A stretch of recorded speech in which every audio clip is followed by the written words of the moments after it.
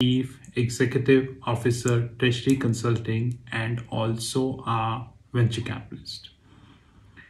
As we speak, Treasury Consulting Group is a multinational headquartered group based out India, Singapore, and Hong Kong. We are a multi-million valuation group with 100% cash, which precisely means we are 100% profitable. Not a single dollar, not a single dollar of debt, and not a single dollar of funding committed by any private equity or venture capitalist firm, nor we entrusted as we speak. This is Treasury Consulting for you. In 2018, I raised my voice to SoftBank. And only the intelligent people knew that who was correct. History is a witness that Oyo, WeWork, Airbnb, and many such examples came in public, specifically talking WeWork, that proved that how fake were the valuations. I remember two years ago, not a single day, not a single day passed when WeWork were not in the pictures. When these media people were not highlighting the WeWork, that it is valued at $50 billion. I remember at one point of time, Uber was also valued 100 billion.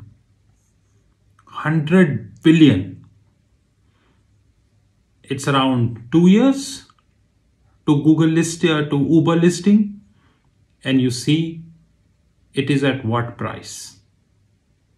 Or forget the 100 billion.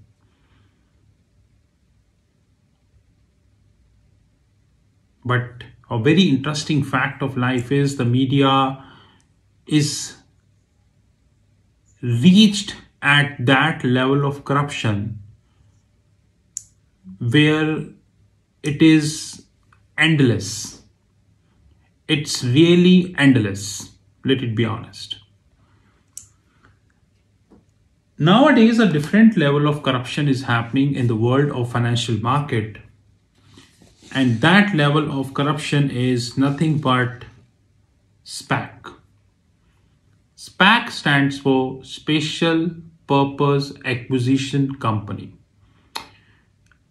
Simplistically speaking, a blank check company, which I say SPAC. So SPAC is nothing but it's a backdoor listing vehicle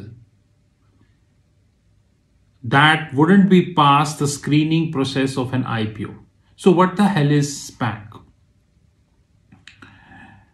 When companies fail to reach IPO due to the screening process, by the way, now it is also not feasible because the countries like United States approved so many companies, those who don't even deserve for IPO, like Robinhood. Robinhood, you please check on Google and see that the mess Robinhood is facing.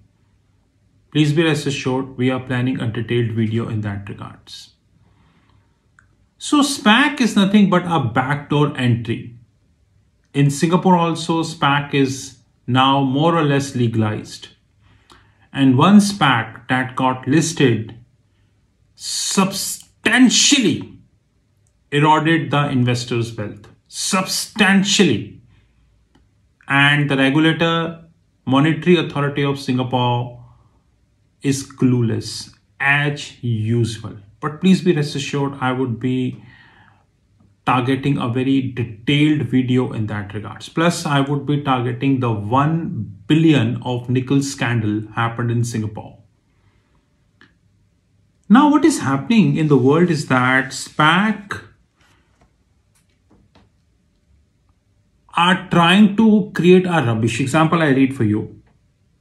Target companies will need to meet the same standards as those are listed directly. In other words, you can't use the blank check to buy the rubbish. But what is happening in SPAC? In the last few we few months, we have seen many Indian companies opting for SPACs outside India Many outside Indian companies, those who operate in India, they're also looking for SPACs, special purpose acquisition company or a blank check company. SPACs are getting listed in Singapore, United States and multiple parts of the globe. It's nothing but a new model how a set of people buy a company from each other and increase the valuation. And end result, investors fail to recognize this as usual. It is nothing new. So the scene is like this. Very soon you will see that the private equity and the venture capitalist firm are now smart. They now understand, they knew that their fake valuation valuation game is over so no one is going to be trusting the valuation. We have enough example, Uber, Lyft, Peloton, Oyo, Zomato, you know, Paytm, Nykaa, Policy Bazaar, Robinhood, WeWork, list is endless. They knew that the only way they can survive in this market is the listing of the company.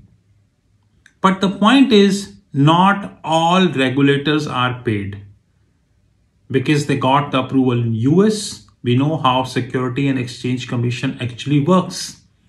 There are ample of evidence that Security and Exchange Commission chair people have a political background, which is also known as PEP, politically exposed people. Please be rest assured, we are planning a video in that regards. In India also, the loss-making companies are approved. End result, a huge amount of money is lost. Did anyone thought about this? Anyone spoke about this? No. So the only resolution is either to buy the regulators or to create another vehicle called SPAC, Special Purpose Acquisition Company. So what the hell it is? A bunch of investors, which are predominantly private equity and venture capitalists, buying another company. So one set of PE selling company, one set of PE buying this company. The only thing is the valuation valuation and it is getting listed in the stock exchange like we it has just happened in Singapore. And you know what's the end result? Around two-third, two-third of the investor wealth is eroded. Completely eroded. Two-third, which is 66%. So today the investors needs to understand one thing. I repeat, investors needs to understand one thing thoroughly I repeat thoroughly, is that they need to learn these tactics. Like in 2018, I warned people about the SoftBank. Now I'm warning people don't go for SPAC. It's another fraudulent way of cheating people. But please be rest assured, I am planning a comprehensive video in that regards rather a sequence of video in that regards.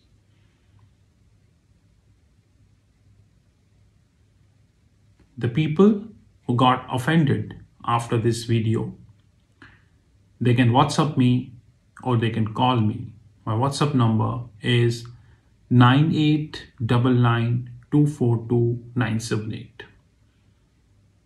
But before I, I leave, if these private equity and venture capitalist people think that they can buy regulator and they can do whatever they love to, they need to understand that we still left with few people in the system